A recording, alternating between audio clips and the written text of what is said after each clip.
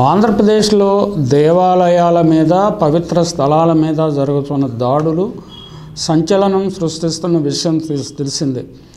ఈ సంచలనాలకు తోడు రాష్ట్ర డీజీపీ తొమ్మిది కేసుల్లో ఇరవై ఒక్క మందిని అరెస్ట్ చేశామని ఏడు ఘటనల్లో టీడీపీ రెండు ఘటనల్లో బీజేపీ పాత్ర ఉందన్నదని ఇప్పటిదాకా పదిహేను మంది వరకును అరెస్ట్ చేశామని చెప్పడం మరింత సంచలనం సృష్టించింది. అంటే ప్రజలందరికీ తెలుసు ఈ పవిత్ర స్థలాలను విగ్రహాలను అపవిత్రం చేయటము వాటి మీద దాడులు చేయటం అనేది ఖచ్చితంగా రాజకీయ కుట్రకోణంతో జరుగుతున్నదని ఇది మత విద్వేషం కంటే రాజకీయ కుట్రకోణంతోనే జరుగుతున్నదని జగన్మోహన్ రెడ్డి ప్రభుత్వానికి అప్రతిష్ట తెచ్చేందుకు మరే అంశము దొరకపోవడంతో ఈ మత అంశాన్ని సున్నితమైన అంశాన్ని రాజకీయ పార్టీలు ఎంచుకున్నాయని మనం అందరం భావిస్తున్నాం. మన అందరికీ తెలుసు. కానీ పోలీసులు ఖచ్చితంగా ఇప్పటికీ ఆ అంశాన్ని నిర్ధారించగలిగారు. ఎమ్మెల్యే గోరంట్ల బుచ్చయ్య చౌదరి వ్యక్తిగత పిఏ చిటికిన సందీప్ అడప సందీప్ బీజేపీ కరటూరు శ్రీనివాసరావులు కూడా ఉన్నారు. రాజమండ్రి విగ్రహ వినాయకుడి విగ్రహానికి తానే తానే మలినం పూసి తానే తప్పుడు ప్రచారం చేసిన ఘటనలో పిడింగొయ్యికి చెందిన టీడీపీ నాయకుడు వెల్లంపల్లి ప్రసాద్ బాబు బాబు ఖాన్ను పోలీసులు అరెస్ట్ చేశారు. అంటే దీన్ని బట్టి రాజకీయ నాయకుల ప్రేరేపణతోనే ఈ ఈ ఈ అపవిత్ర కార్యకలాపాలు జరిగాయని మనకు ఖచ్చితంగా తెలిసింది. అలాగే ఆంజనేయ స్వామి విగ్రహానికి చెప్పుల దండ వేయటము సీతారాముల ఆర్చిలోని సీతారాముల విగ్రహానికి కాళ్ళను ధ్వంసం చేసిన ఘటనకు సంబంధించిన కేసుల్లో టీడీపీ వారిని పో బీజేపీ వారిని కూడా పోలీసులు అరెస్ట్ చేశారు. ఈ ఎట్టకేలకు ముసుగులో జరుగుతున్న గుద్దులాట బహిర్గతం కావడం సంతోషం. అయితే అత్యున్నత స్థాయిలో రాజకీయ నాయకులు కూడా ప్రజల్లో భావోద్వేగాలను రెచ్చగొట్టడానికి మాట్లాడుతున్నారే తప్ప చారిత్రక వాస్తవాలు కానీ సెన్స్ ఆఫ్ హిస్టరీ కానీ లేకుండా వీరు ప్ర వీరు వ్యవహరించడం చాలా సిగ్గు కలిగే విధంగా ఉన్నది. ఇటువంటి రాజకీయ నాయకుల మనల్ని పరిపాలిస్తున్నది రాజకీయ వైరుధ్యాలు ఉంటే రాజకీయంగా తేల్చుకోవాలి. వ్యక్తిగత వైరుధ్యాలు ఉంటే వ్యక్తిగతంగా తేల్చుకోవాలి. కానీ మతాన్ని అడ్డుకొని భావోద్వేగాలను రెచ్చగొట్టే ప్రయత్నం చేయడం చాలా దురదృష్టకరము.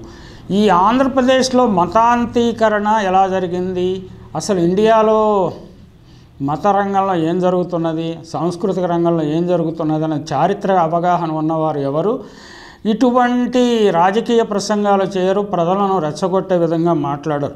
భారతదేశంలో అనేక సంస్కృతులు విలసిల్లాయి ఆలోచనలు పరిఢవిల్లాయి భా అలాగే అనేక సమూహాలు అనేక రకాల సంస్కృతులను అభివృద్ధి చేశాయి. అయితే బ్రాహ్మణ సంస్కృతి ఆధిపత్యం అనేది క్రమక్రమంగా పెరుగుతూ వచ్చింది. అందువలనే అనేక కమ్యూనిటీస్ అనేక సా- కులాల వారు సాంస్క్రటైజేషన్ లేక బ్రాహ్మణైజేషన్ బ్రాహ్మణీకరణ లేక సంస్కృతీకరణ అని అంటాము. అటువైపు మళ్ళు చూపటం వల్ల చాలా ఎవరు ఈ దేశంలో అందరూ హిందూ మతస్థులే అనే అభిప్రాయం బలపడింది. కానీ ఇందులో అనేక షేడ్స్ ఉన్నాయి. అనేక శాఖలు ఉన్నాయి ఉపశాఖలు ఉన్నాయి మతాలు ఉన్నాయి. ఈ మత శాఖలు ఉన్నాయి కులాలు ఉన్నాయి కులాలలో అంతర్శాఖలు ఉన్నాయి. అలాగే సమాంతరంగా ద్రావిడ సంస్కృతి విలసిల్లింది. అలాగే ఈ ప్రధాన సంస్కృతికి సమాంతరంగా రకరకాల సంస్కృతులు విలసిల్లాయి. ఆ సంస్కృతులు ప్రధాన స్రవంతిలో ఒకసారి కలుస్తుంటాయి. మళ్ళీ ప్రధాన స్రవంతిలు విడిపోతూ ఉంటాయి. అలాగే వైదిక నియోగి లేకపోతే వీరశైవ వీర వైష్ణవ ఇలాంటి ఉద్యమాలన్నీ ప్రధాన. కాకపోతే ఇవన్నీ బ్రాడ్గా జాతీయ స్రవంతి హిందూ మతం కింద చలామణి అవుతున్నాయి. తర్వాత క్రమక్రమంగా ఈ బ్రిటిష్ వారు వచ్చిన తర్వాత యూరోపియన్ నాగరికతకు భారతీయులు ఎక్స్పోజ్ అయిన తర్వాత వెస్టర్నైజేషన్ పాశ్చాత్యీకరణ జరుగుతున్నది. పాశ్చాత్యీకరణలో భాగంగా అన్ని కులాలు మతాలు అభిప్రాయాలు ఏకమవుతున్నాయి. ఈ దాదాపు ఒకే రకమైన మానవత అంతర్జాతీయ మానవ మతంలాగా ఒక మతం ఒక జీవన రీతి ఎవాల్వ్ అవుతున్నది. ఈ విషయాన్ని మనం గమనించాలి. గమనించకుండా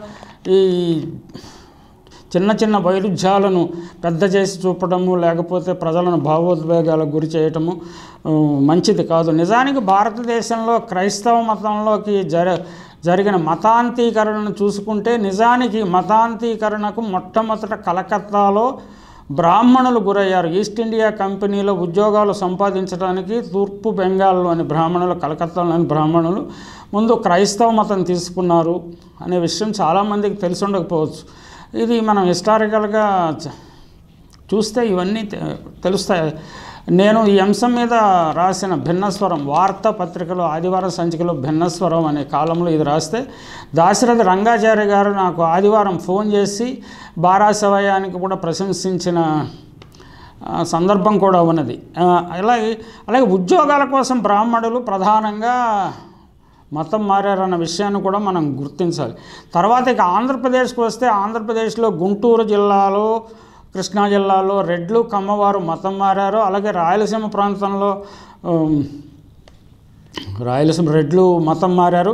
అలాగే అంతకుముందు ముస్లింల పరిపాలన ఈ దేశంలో ఉన్నప్పుడు మొఘలుల పరిపాలన లేకపోతే నిజాం పరిపాలనలో ఉన్నప్పుడు సైన్యంలో పనిచేసేవారు. సైన్యంలో వారికి సేవలు చేయటానికి వచ్చిన నిమ్న జాతుల వారు ముస్లిం మతం స్వీకరించారు.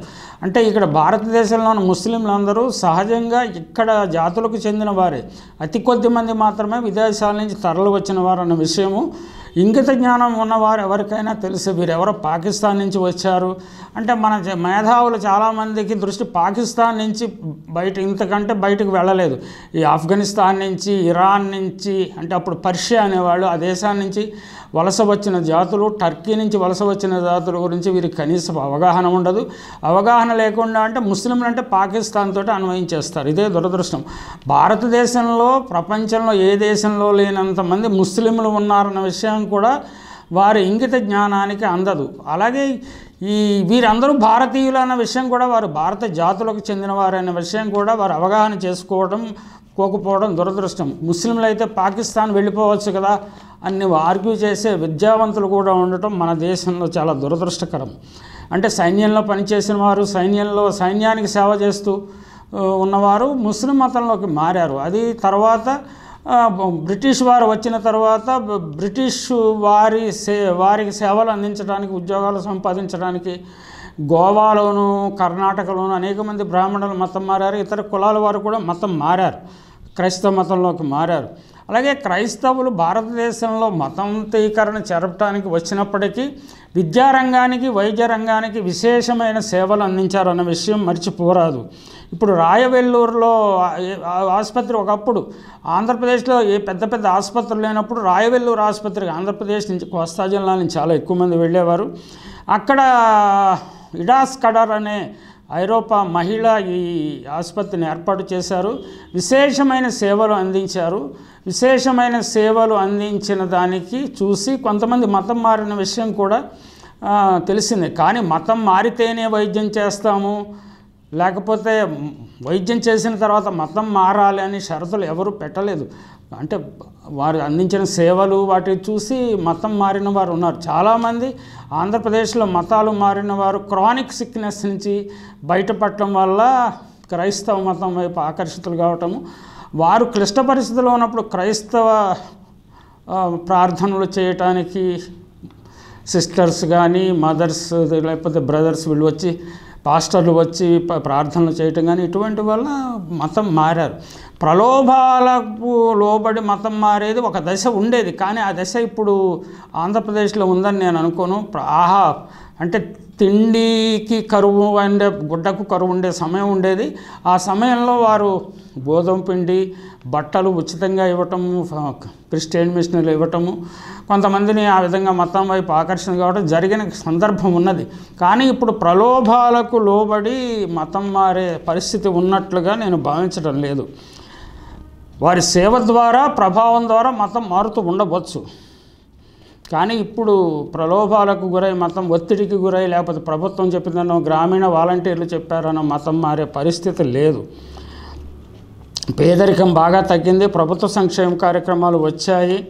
ఇప్పుడు తాజాగా కోస్తా జిల్లాలో నేను అబ్జర్వ్ చేసింది ఏంటంటే గౌడ యాదవ కులాల వారు. యాదవ కులం వారు సా- సాధారణంగా హిందూ మతం పట్ల పూర్తి నిబద్ధత కలిగి ఉంటారు. వారిలో కూడా మత మార్పిడి చాలా బాగా ఎక్కువ కనిపిస్తున్నది. గౌడ కులంలో కూడా కనిపిస్తున్నది. అలాగే మత్స్యకారుల్లో కనిపిస్తున్నది. వీరందరూ ఎందుకు మతం మారుతున్నారన్న అంశాన్ని లేకపోతే ఆర్ఎస్ఎస్ అనండి విశ్వ హిందూ పరిషత్ అనండి లేకపోతే బీజేపీ అనండి వీరు జాగ్రత్తగా పరిశీలించి అటువంటి పరిస్థితులు లేకుండా మన మతంలో చేయటం ద్వారా మతాంతీకరణ అరికట్టవచ్చునేమోనన్న ఆలోచన చేయాలి తప్ప మతాలకు మారకుండా ఒత్తిడి చేయగలమని లేకపోతే ప్రభుత్వమే ఒత్తిడి చేసి మతాలు మారుస్తున్నదని ఎలాంటి ప్రచారం ద్వారా సాధించేది ఏమీ ఉండదు. ఇప్పుడు మాలిగ మాలా మాదిగవాడల్లో చర్చిలకు అన్ని కులాల వారు వెళ్తున్నారు. దీనివల్ల ఒక పెద్ద సామాజిక మార్పు వచ్చినట్లుగానే భావించ భావించాలి. అంటరానితనం నుంచి దూరం కావడానికి మాది మాలిక కులాలు సా సామాజిక గౌరవ ప్రతిపత్తిని సంపాదించడానికి వారు క్రైస్తవ మతంలోకి మారారన్న పాజిటివ్ దృక్పథంతో కూడా చూడవచ్చు. వారి కట్టిన వారి వాడల్లో కట్టిన చర్చిలకు వివిధ కులాల వారు వెళ్ళటం అనేది ఒక సామాజిక మార్పు కూడాగా భావించవచ్చు. అలాగే మాల మాదిగ కులాలలో సామాజిక సోషల్ మొబిలిటీ సామాజిక ఊర్ధ్వచలనం జరిగిందని కూడా మనం భావించవచ్చు. అలా కాకుండా దీన్ని నెగిటివ్ కోణంతో చూడటము అనేది అవసరమా? వారు మతం మారాలనుకుంటే ఆపగలిగిన శక్తి ఏది లేదు. మన రాజ్యాంగం వారికి ఎవరికైనా స్వేచ్ఛ ఇచ్చింది. స్వచ్ఛందంగా మతం మారే స్వేచ్ఛ ఇచ్చింది. ప్రభుత్వము మతం మార్పిడిలను ప్రోత్సహించరాదు. అలాగే అడ్డగించ కూడా లే అడ్డగించను కూడా లేదు. అది వ్యక్తిగత ఇష్టాయిష్టాలకు సంబంధించినది. ఇంకా అయితే ఇంకా మన భారతీయ సమాజంలోనూ ముఖ్య ఇంకా అంటరానితనం అనేది ఛాయలు కనిపిస్తున్నాయి. ఇది కూడా పూర్తిగా మారడానికి ఇంకా ఒకటి రెండు తరాలు పట్టవచ్చు. సామాజిక మార్పు చాలా నెమ్మదిగా జరుగుతుంది. ఆ నెమ్మదిగా జరిగే మార్పుకు అందరూ గుర్తించి నెమ్మది ఓపిక కలిగి ఉండాలి. ఐచ్ఛికంగా మతం మారేవారిని ఎవరూ ఆపలేరు. అయితే మత మార్పిడులు ప్రోత్సహించలేక నిరుత్సాహపరిచే వాతావరణం మాత్రము సృష్టించవచ్చు. అటువంటి ప్రోత్సహించే వాతావరణాన్ని ఏదైనా ఆంధ్రప్రదేశ్ ప్రభుత్వం సృష్టిస్తే దానిని ప్రశ్నించవచ్చు. అలాగే నిరుత్సాహపరిచే వాతావరణాన్ని ప్రతిపక్షాలు సృష్టించవచ్చు. అది సృష్టించాలంటే వారు వారి వెనుక ఉన్న సామాజిక వర్గాలు కానివ్వండి సామాజిక సంస్థలు కానీ ఉత్సాహం ఉత్సాహంతో సామా సమాజంలో చురుకుగా పనిచేయాలి ఉంటుంది. అప్పుడే మత మార్పిడిలు ఆగవచ్చు ఇప్పుడు ఆంధ్రప్రదేశ్లో సెల్ఫ్ సస్టైనింగ్ చర్చ్ మోడల్ను ఒకటి డెవలప్ చేశారు. ఆ చర్చ్ల నిర్వహణను లేకపోతే పాస్టర్ నిర్వహణను అక్కడ ఉండే భక్తులే విశ్వాసులే పోషించుకునే పరిస్థితి ఉంది. ప్రతి ఒకసారి వచ్చినప్పుడల్లా ఏదో ఒక చర్చికి కానుక ఇవ్వటం అనే ఒక పద్ధతిని డెవలప్ చేశారు. ఆ డెవలప్మెంట్ అది వివిధ రూపాల్లో ఉండదు. వస్తు రూపంలో ఉండొచ్చు ధన రూపంలో ఉండొచ్చు. ఆ విధంగా చర్చి పాస్టర్లు వాళ్ళ చర్చిలను సెల్ఫ్ సస్టైనింగ్ మోడల్గా డెవలప్ చేసుకునే పరిస్థితి వచ్చింది. అలాగే చాలా పల్లెల్లోనూ కులానికి ఒక చర్చ్ కూడా వస్తున్నది. నిజానికి అంత మంచి పరిణామం కాదు కానీ వేరే వారు వేరే కులం వారు నిర్మించిన చర్చికి కూడా ఇతర కులాల వారు వెళ్ళటం అనేది ఒక పాజిటివ్ సంకేతమే. వీటి చర్చీలకు స్వదేశీ విదేశీ విరాళాలు విరివిగా వస్తున్నాయేమో చూడాలి. దానివల్ల ప్రలోభాలను పెట్టడానికి అవసరమైన ధనరాశులు వీళ్ళ దగ్గర ఉంటున్నాయంటే అటువంటిది కూడా సందేహమే. ఇవి స్వయంచాలిత మత సంస్థలుగానే ఉన్నట్టుగా కనిపిస్తున్నది. ముందు కేరళ కోస్తా ప్రాంతంలో మత మార్పిడులు ఎక్కువ జరిగాయి. అలాగే అప్పుడు ఆంధ్ర ప్రాంతంలో ఇప్పుడు ఎక్కువగా జరుగుతున్నట్లు సూచనలు కనిపిస్తున్నాయి.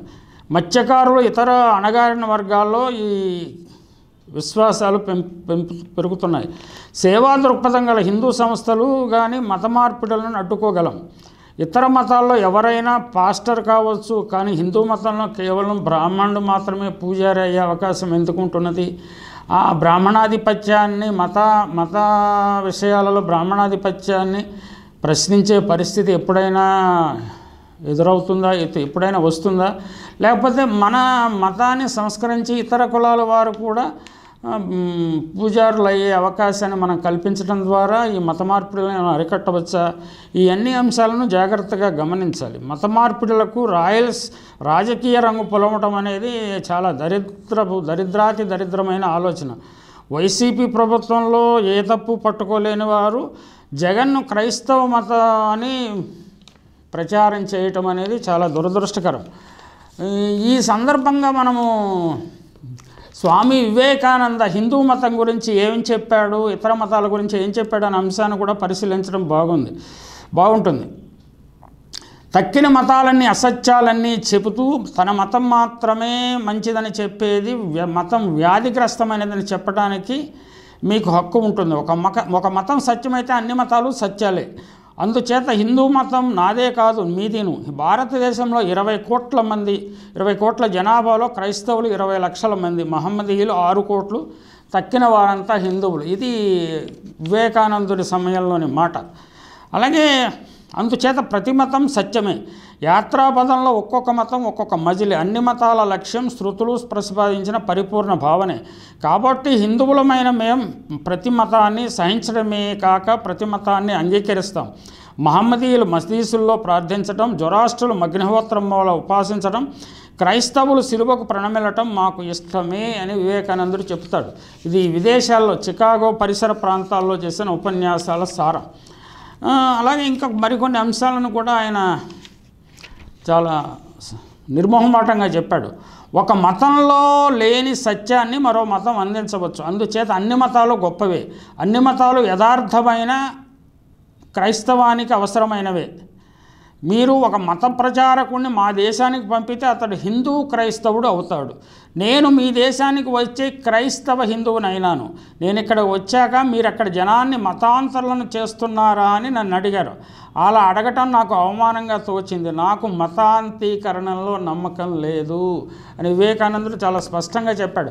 అంటే వివేకానందుడు ప్రవచించిన వివేకానందుడు ఊహించిన హిందూ మతం ఇండియాలో ఆచరిస్తే మతాంతీకరణ అనే అసలు సమస్య రాకుండానే పోవచ్చు. ఈ అంశాన్ని మెయిన్ స్ట్రీమ్ హిందూ బిలీవర్స్ విశ్వాసులు ఆలోచించి నిర్ణయించడం బాగుంటుంది.